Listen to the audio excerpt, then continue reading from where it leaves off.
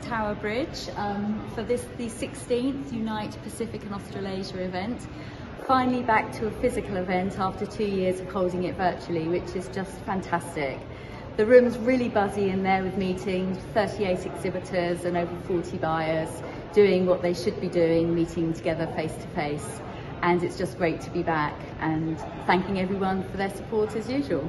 We'd really love agents to do our new online specialist or travel program and it's a really good way to find out great selling tips on Fiji now that the Pacific's really opened up and we've got our new brand launch which is where happiness comes naturally.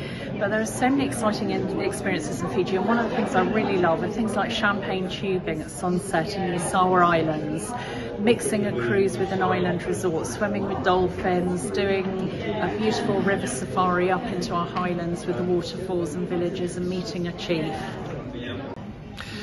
Samoa is the birthplace of Polynesian culture, so if you're interested in Polynesian culture, there's no better place to come. It's also stunningly beautiful, one of the most green, uh, sustainable destination out there, and reasonably new to tourism, so no crowds around, plenty of space. Uh, and yeah, come and see us in Samoa. Hi everyone, so just want to give you a top tip of something new in Sydney, uh, which is the Barangaroo precinct. It's all looking brand new and beautiful down there. New Crown Hotel Sydney, new swimming cove, Marrinawi Cove, that you can tell your customers to go and take a dip in Sydney Harbour, and lots of fantastic restaurants, shops and bars to experience. Hi, I'm Charlotte from Tahiti Tourism. You know TT um, as lovely overwater bungalows in Bora Bora, but there's so much more. Um, to find out more about other islands you can be selling to your clients, visit the TT Specialist program at ttspecialist.org to find out more. Um, the West Coast is all about untamed natural wilderness. We have two of the three glaciers that would come down all the way down to sea level in temperate rainforest. So come and see them.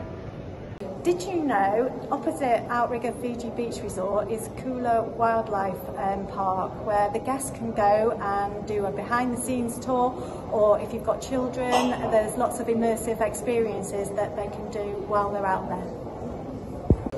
Make sure you come and visit Sydney Opera House this year. It's our 50th anniversary and we've got sensational things going on all year round including Inside Out from the 1st to the 7th of May where the orchestras and choirs inside the Opera House will be simultaneously showing on the screens outside. Check out all the dates and the birthday is in October. So Yasawa is a small boutique resort right up in the northern Yasawa Islands and we're famous for our natural beauty, our beaches and really authentic cultural experiences for guests.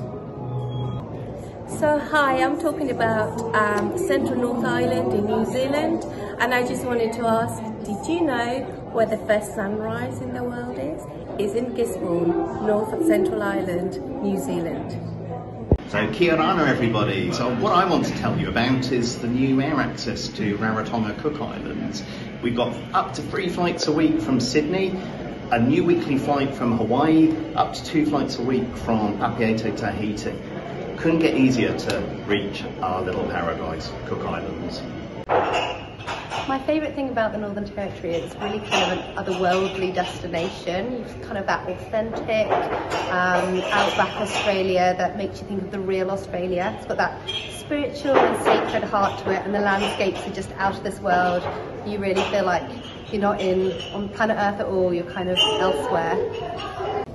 Did you know that you can actually fly into And experience with Wildlife Tropical North Queensland three attraction parks which give you the experience to encounter with the Australian wildlife so you can actually hold a koala, feed wallabies and learn so much about the Australian wildlife altogether. And this is at Hartley's uh, Crocodile Adventure or Kuranda Koala Gardens or Bird World um, in Kuranda. Absolutely beautiful locations. The animals are actually in natural environments and Hartley is actually in the uh, Daintree National Park, which is World Heritage Area. Absolutely beautiful experiences.